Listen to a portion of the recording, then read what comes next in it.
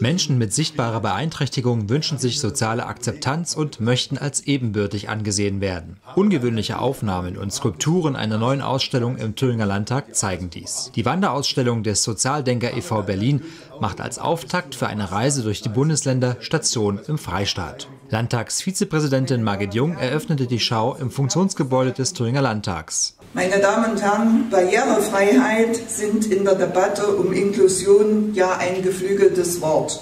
Meist verstehen viele darunter nur den Treppenaufgang. Es bedeutet aber weitaus mehr.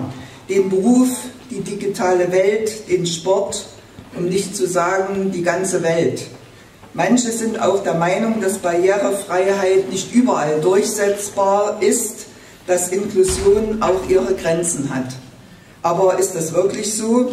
Oder setzen wir uns selbst nicht diese Grenzen? Die Ausstellung stellt jeden Besucher vor die Herausforderung, sich auf den Wunsch der Abgebildeten nach Wahrnehmung einzulassen. Das Veranstaltungskonzept ist zudem nicht nur thematisch inklusiv, sondern auch in seiner Erlebbarkeit und medialen Aufbereitung. Menschen mit Sinnesbehinderungen wird die Informationsaufnahme barrierefrei ermöglicht. Die Schau ist noch bis zum 13. Januar zu sehen.